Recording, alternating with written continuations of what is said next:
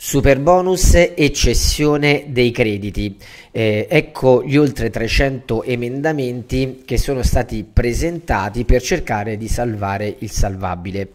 Eh, come sapete è in discussione al Senato il eh, decreto legge numero 11 del 2023, il famoso decreto cessioni, sta quindi completando il suo percorso di discussione. Nell'ambito di questa discussione sono stati presentati oltre 300 emend- emendamenti con i quali si cerca un po' di risolvere tutta una serie di problemi. Alcuni ovviamente sono ben antecedenti, cioè risalgono a ben prima che sia stato pubblicato il decreto cessioni, altre sono state introdotte o comunque sono delle criticità che sono state eh, rilevate eh, con l'introduzione del decreto cessioni. Quindi sono stati presentati degli emendamenti con i quali si cerca di rivedere un po' i limiti temporali del super bonus,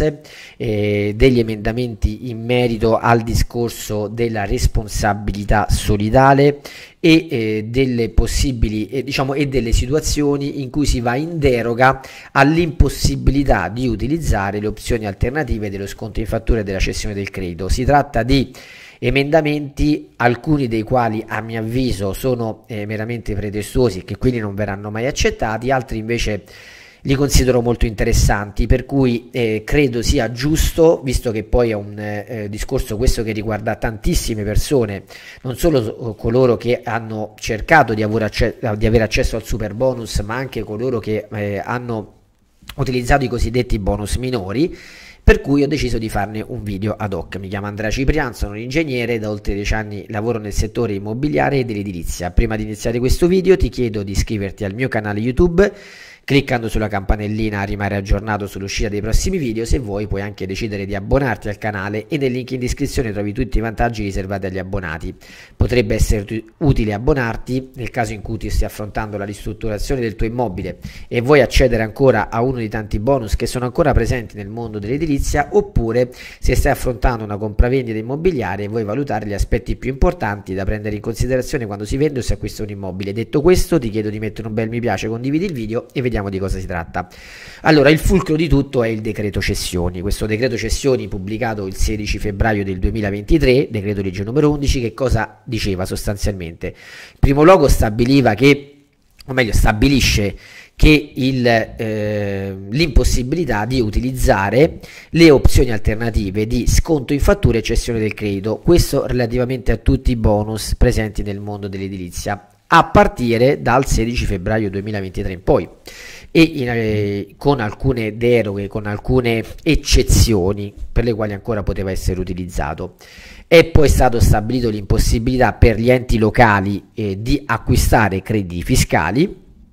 questa è un'altra cosa molto importante. E eh, sostanzialmente queste, eh, ed è stata stabilita tranne i casi di dolo o colpa grave, è stata individuata una checklist precisa di documenti che devono essere visionati, che devono essere valutati, in base ai quali appunto chi ha questi documenti non può più essere coinvolto da sequestri preventivi e quindi eliminata la responsabilità solidale sono stati presentati, come ho detto, nell'ambito della discussione dell'approvazione di questo, eh, di questo decreto legge, sono stati presentati tantissimi emendamenti. Alcuni, come ho detto, pretestuosi, non verranno mai accettati, altri invece molto interessanti. Li voglio riportare qui di seguito.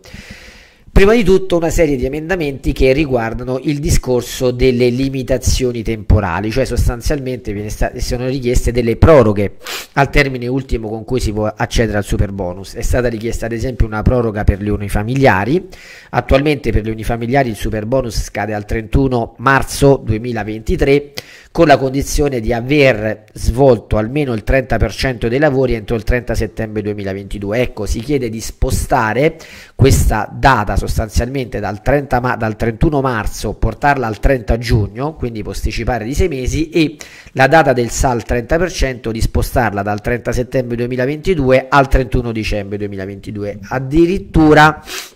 qualcuno propone di posticipare eh, la fine del, del super bonus per gli unifamiliari al 31 dicembre del 2023. Poi eh, de- vengono richieste anche delle proroghe per il super bonus, termine del super bonus per eh, i condomini. In pratica eh, viene richiesta la possibilità di utilizzare ancora l'aliquota del super bonus al 110% eh, fino al 30 giugno del 2024 anziché il eh, 31 dicembre 2023 per coloro che hanno presentato CILAS entro il 25 novembre del 2022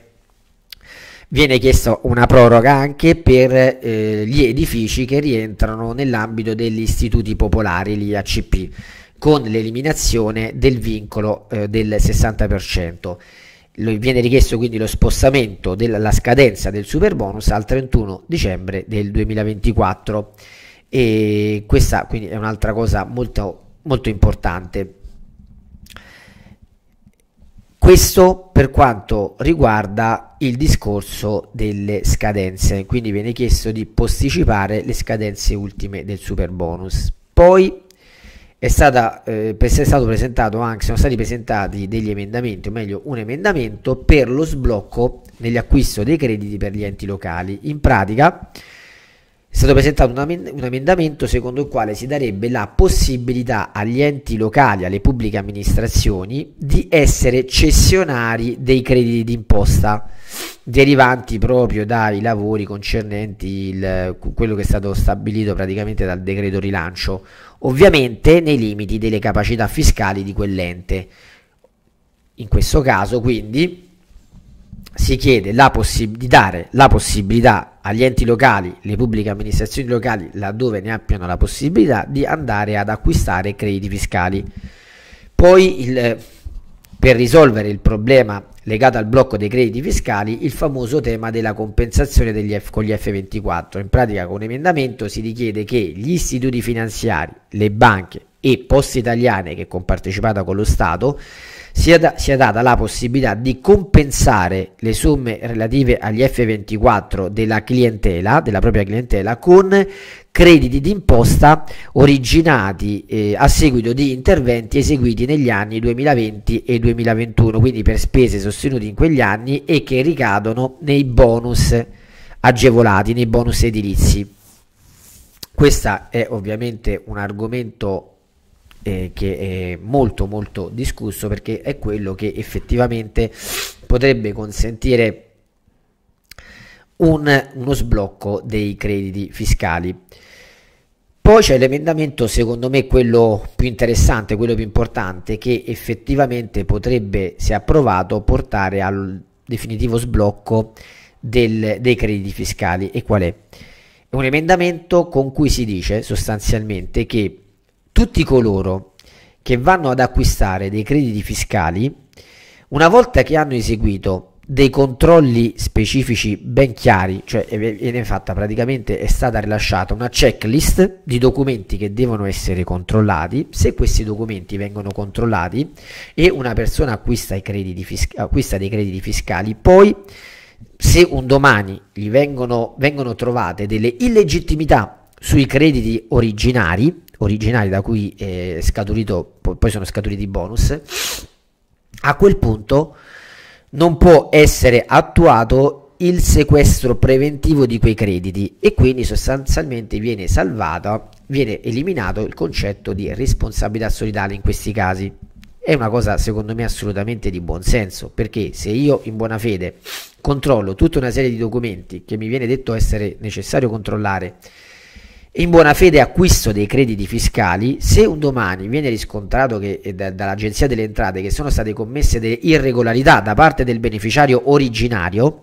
è chiaro che in quel caso l'Agenzia delle Entrate deve andare a riprendersi, eventualmente deve andare a rivalersi sul beneficiario originario che ha commesso l'illegittimità, non su di me che ho acquistato dei crediti fiscali in assoluta buona fede. Questo credo che sia un emendamento molto importante perché veramente potrebbe consentire di sbloccare i crediti fiscali e tor- far tornare degli investitori ad decidere di investire nei crediti fiscali relativi ai vari bonus presenti nel mondo dell'edilizia. Poi c'è un emendamento in cui viene chiesto di fissare agli istituti finanziari dei tempi di istruttoria ben precisi, cioè le banche devono dire che per lavorare, per istruire le pratiche di cessione del credito deve volerci tot tempo, 30 giorni. Viene stabilito che in 30 giorni devono essere, eh, diciamo, deve essere istruita completamente la pratica relativa a una cessione del credito, quindi deve comunicare quelli che sono i documenti necessari, dopo che una volta che vengono forniti da parte del beneficiario, entro 30 giorni deve essere istruita la pratica questo credo che sia veramente una, una misura assolutamente eh, di, di buon senso, chiaramente. Altro emendamento molto importante, si chiede di ampliare un pochino eh, quelli che sono i casi in cui, nonostante venga pubblicato sostanzialmente, nonostante sia applicato il decreto cessioni, i casi in cui ancora sarebbe possibile utilizzare sconti in fattura e cessione del credito. In particolare si richiede che possa essere utilizzato sconti in fattura e cessione del credito per interventi che rientrano nel bonus barriere architettoniche, per tutti quegli interventi in cui non è richiesta la presentazione di un titolo abilitativo e, e per i quali sia già stato sottoscritto un contratto con l'azienda che deve eseguire quel determinato tipo di intervento per gli interventi che rientrano in ambito sisma bonus acquisti per i quali sia stato ritirato il titolo abilitativo e siano stati già avviati i lavori o che comunque sia stato stipulato un preliminare di acquisto di rogino nel caso di sisma bonus acquisti entro il 31 dicembre 2023. In ogni caso si chiede di posticipare la data ultima cui, diciamo, a partire dalla quale non è più possibile utilizzare la cessione del credito e sconti in fattura dal 16 febbraio, che è l'attuale data, al 30 aprile 2023, quindi sostanzialmente due mesi e mezzo in più di tempo. Credo che questi sono un po' un estratto di quelli che sono gli emendamenti forse più interessanti. Come ho detto, ne sono stati presentati tantissimi, si parla di circa 300 emendamenti, molti dei quali non verranno probabilmente neanche presi in considerazione perché sono veramente pretestosi, però alcuni, tipo questi secondo me che ho riportato qui sono, credo, degli emendamenti e delle richieste di assoluto buonsenso e vedremo come il governo si comporterà nei confronti di queste richieste. Ovviamente vi terrò aggiornati su quello che succederà nelle prossime settimane, per cui vi chiedo di iscrivervi al canale YouTube cliccando sulla campanellina rimanete aggiornati sull'uscita dei prossimi video e se volete potete anche decidere di abbonarvi al canale. Ciao!